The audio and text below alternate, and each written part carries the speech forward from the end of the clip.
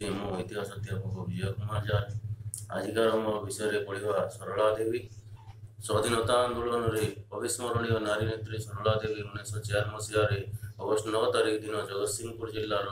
बालिकुदा निकटस्थ नरेलो ग्राम से जन्मग्रहण करते पिता थे वासुदेव कानुक और माता थे पद्मावती देवी बाल्य काल समय सरला देवी बड़ बापा बाण मुकुंद कानुक जीक बांकी डेपुटी कलेक्टर सरला देवी को निज पाखे रखी समस्त शिक्षा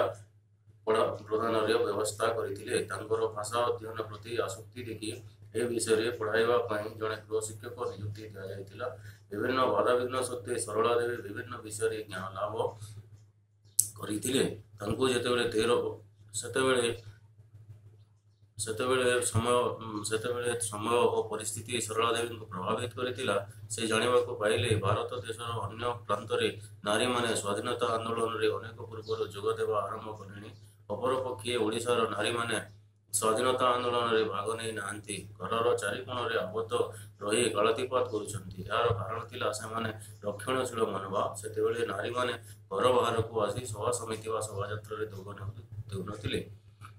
जिते तेर वर्ष सरलादेवी जगत सिंहपुर भागीरथी महापात्र को बहुत करते जन स्वाधीन चेता मनीष भाव भागीरथी महापात्र जितिय कंग्रेस जन क्रियाशील सदस्य थे द्वारा प्रभावित हो सरलादेवी निज मतृभूमि किसी महत् कार्य रखापी आगभर ବଙ୍କିମ ଚନ୍ଦ୍ର ଓ ରବୀନ୍ଦ୍ରନାଥ ଟାଗୋରଙ୍କ ପରି ବିଶ୍ୱବିଖ୍ୟାତ ଲେଖକଙ୍କ ପୁସ୍ତକ ଗୁଡ଼ିକ ସରଳା ଦେବୀ ପଢ଼ିଥିଲେ ସେମାନଙ୍କ ଲେଖାରୁ ଜାଣିଥିଲେ ଯେ ଅନେକ ଭାରତୀୟ ନାରୀ କିପରି ଭାରତ ଇତିହାସକୁ ବଳିଷ୍ଠ ଅବଦାନ ରହିଛି ଏହି ଲେଖକମାନେ ନିଜ ଲେଖା ମାଧ୍ୟମରେ ରକ୍ଷଣଶୀଳ ଓ ଅନ୍ଧବିଶ୍ୱାସର ନିଜକୁ ମୁକ୍ତ ଦେଖି ନାରୀମାନେ ଆଗେଇ ଆସନ୍ତୁ ବୋଲି ଆହ୍ୱାନ କରିଛନ୍ତି ଏମାନଙ୍କ ହୃଦୟରେ ଜାତୀୟ ଚେତନା ଜାଗ୍ରତ କରିବାକୁ ପଦକ୍ଷେପ ନେଲେ ଯଦିଓ ଜଣେ ରକ୍ଷଣଶୀଳ ପରିବାରରୁ ବହୁ ଥିଲେ ସେ ନାରୀ ಸಾಗರನ ಪೈ ಅಂತ ವಿಡಿಲಿ ತಕ್ಕ ಸ್ವಾಮಿ ಹೋಮ ಮಹಾತ್ಮಾ ಗಾಂಧಿಂಗ ಆಹ್ವಾನ ತಕ್ಕ ಮନରେ ಜಾತೀಯ ಚೇತನ ಸೃಷ್ಟಿ କରିଥିଲା ଅବଶ୍ୟ ଏଥିପାଇଁ ତାଙ୍କୁ ସମାଜରେ କିଛି ରକ୍ଷଣଶୀଳ ଲୋକଙ୍କ ସମାଲୋଚନାର ଶିକାର ହେବାକୁ ପଡ଼ିଥିଲା ଗାନ୍ଧୀଙ୍କ ବାର୍ତ୍ତା ସରଳା ଦେବୀଙ୍କ ସ୍ୱାଧୀନତା ସଂଗ୍ରାମରେ ଭାଗ ନେବା ପାଇଁ ପ୍ରଭାବିତ କଲା ବିଦେଶୀ ଦ୍ରବ୍ୟ ବର୍ଜନ କରି ସ୍ୱଦେଶୀ ଦ୍ରବ୍ୟର ବ୍ୟବହାର ପାଇଁ ଯେଉଁ ଆନ୍ଦୋଳନ ଚାଲିଥିଲା ସେଥିପାଇଁ କଟକରେ ଏକ ସଭାର ଆୟୋଜନ ହୋଇଥିଲା ସେଥିରେ ସରଳା ଦେବୀ ଯୋଗ ଦେଇ ବିଭିନ୍ନ ବକ୍ତାମାନଙ୍କର ଭାଷଣ ମନ ଦିଅନ୍ତି ଶୁଣିଲେ ଏହି ଭାଷଣ ତାଙ୍କୁ ଏତେ ପ୍ରଭାବିତ କରିଥିଲା ଯେ ସେ ସ୍ୱୟଂ ସଭାମଞ୍ଚ ଉପରକୁ ଉଠିଯାଇ ନିର୍ଭୀତ ଭାବେ ଏହି ଆନ୍ଦୋଳନ ସପକ୍ଷରେ ନିଜର ବକ୍ତବ୍ୟ ରଖିଥିଲେ ଉପସ୍ଥିତ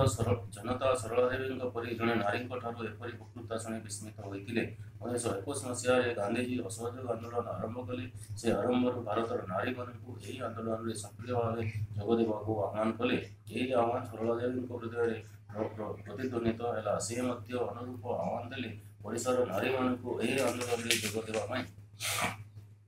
ଏହି ସାହସିକ ପଦକ୍ଷେପ ନେବା ବିରୁଦ୍ଧରେ ଅନେକ ବାଧାବିଘ୍ନ ଆସିଲା କିନ୍ତୁ ସେ ଥିଲେ ନିଶ୍ଚଳ ଓ ଅପ୍ରତିହତ ଉଣେଇଶହ ଏକୋଇଶ ମସିହାରେ ସରଳା ଦେବୀ ଜାତୀୟ କଂଗ୍ରେସରେ ଯୋଗ ଦେଇଥିଲେ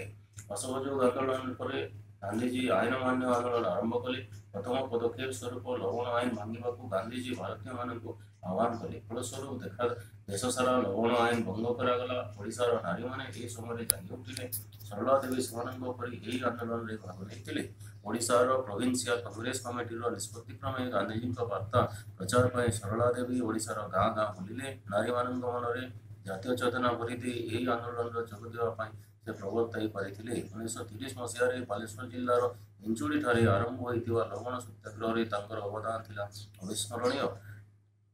ଗାନ୍ଧୀଜୀଙ୍କ ଓଡ଼ିଶାରେ ପଦଯାତ୍ରା ସମୟରେ କଟକ ଶ୍ରୀରାମଚନ୍ଦ୍ର ଭବନରେ ଏକ ସଭାର ଆୟୋଜନ କରାଯାଇଥିଲା ସେଠାରେ ଗାନ୍ଧୀଜୀ ସମବେତ ସତ୍ୟାଗ୍ରହୀମାନଙ୍କୁ କହିଥିଲେ ଯେ ସେମାନେ ପ୍ରତ୍ୟେକ ଗାଁକୁ ଯାଇ ସେଠାରେ ଗଠନମୂଳକ କାର୍ଯ୍ୟ କରନ୍ତୁ ସରଳା ଦେବୀ ସେହି ସଭାରେ ଉପସ୍ଥିତ ଥିଲେ ଗାନ୍ଧୀଜୀଙ୍କର ଏହି ଉପଦେଶ ଦ୍ୱାରା ଅନୁପ୍ରାଣିତ ହୋଇ ବିଭିନ୍ନ ଗଠନମୂଳକ କାର୍ଯ୍ୟ ବିନିଯୋଗ ବିନିଯୋଗ କଲେ ତନ୍ମଧ୍ୟରୁ ଉଲ୍ଲେଖନୀୟ ଥିଲା ନାରୀମାନଙ୍କ ମନରେ ସଚେତନତା ସୃଷ୍ଟି କରିବା ସମାଜର ଅନ୍ଧବିଶ୍ୱାସ ଲୋପ କରିବା ନାରୀ ଶିକ୍ଷାର ପ୍ରସାର କରିବା ସ୍ୱଦେଶୀ ଦ୍ରବ୍ୟ ବ୍ୟବହାର କରିବା ଓ ଅସ୍ପୃଶ୍ୟତା ନିବାରଣ କରିବା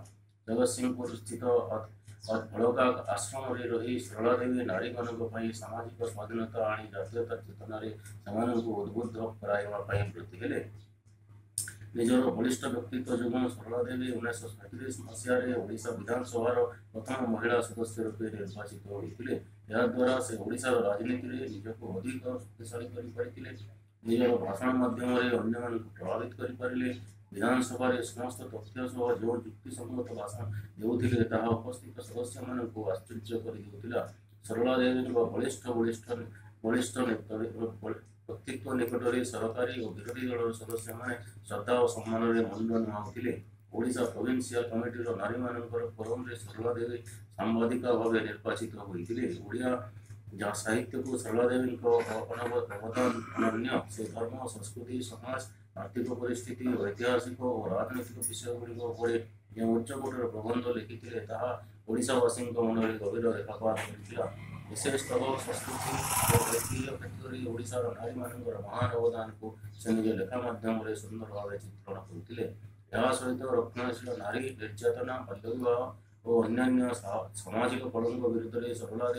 ನಿಜರ ಲೇಖನೀ ಚಳನಾಧ್ಯ ಭಾರತೀಯ ಮಹಿಳಾ ಪ್ರಸಂಗ ಲೀರಾ ರಮಣೀ ನಾರಿತ ಪ್ರತಿಷ್ಠಾ ನಾರೀರ ಆರ್ಥಿಕ ಸ್ವಾಧೀನತೀ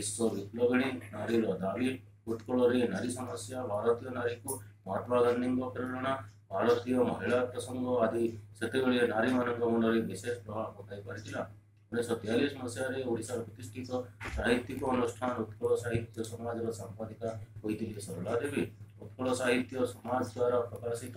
ଜାଗରଣ ନାମରେ ମାସିକ ପତ୍ରିକାର ସେ ସମ୍ପାଦକ ଥିଲେ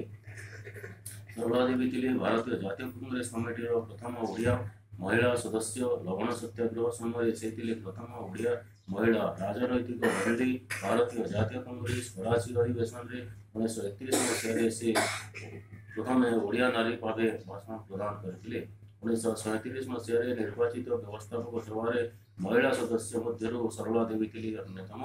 1986 সালের অক্টোবর 4 তারিখ দিন সরলা দেবী এসে স্বাস্থ্যতরকিলে